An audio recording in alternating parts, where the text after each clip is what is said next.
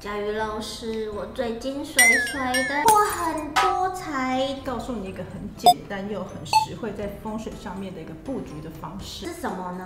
这个叫做化煞安人水。那名字听起来很奇怪，什么是化煞安人水？每年的天地之间呢，都会有不同的煞气产生。那化煞安人水可以放在我们每年不同的煞气的方位，可以帮我们稍微挡挡煞。所以这样就可以改善我衰运的状态了吗？是啊，太好了。开始做化煞安人水。好，我们准备的材料有龙银六个，或者是呢，你没有龙银的话，你就可以用六个十元的硬币也可以。好，这个是我们一般的粗盐或者是呃精盐都可以。当然你要用高档一点的玫瑰盐也可以。好，再来准备一个器皿，那要记得哦，这个器皿不要是金属的，也不要是纸碗类的，因为纸碗类的会耐不住它的呃水。然后要记得这个口要是大的口。再来，我们要准备水。你看这些材料是不是很简单呢？真的耶！首先呢，要把这个盐巴放到我们这个碗里面，要放八分满。好，那我们把它铺平。铺平之后呢，把这个水加进去。接着呢，把龙银放进去。那是因为我们刚好有龙银，如果你没有龙银的话呢，也没有关系，我们就用我们的十元硬币也可以，就二折一，看你有哪个用就用哪一个。好，那我们要放在中间的位置。那另外那五个呢，就沿着它的旁边帮它排整齐就可以了。好，我们的化煞安人水是不是很简单啊？接下来呢，我们进行最重要的一个步骤，就是要找方位。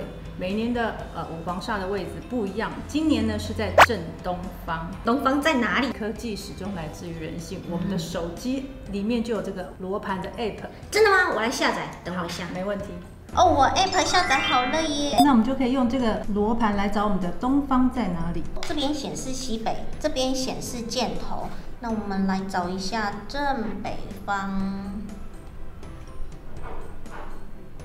哦，正北方找到了，这样我们就可以对应出北方、南方、东方、西方。那我们来找找教室的东方在哪里吧。好，走吧。东方呀？有，我们的东方在厨房哎。这样子没有办法放化煞安人水耶。怎么办？没关系，我们稍微偏一点点也可以。那我们就摆在这个位置上面。正东方没有办法摆的话呢，我们就稍微偏一点的位置也没有关系。哦，我们就摆在这个位置上面。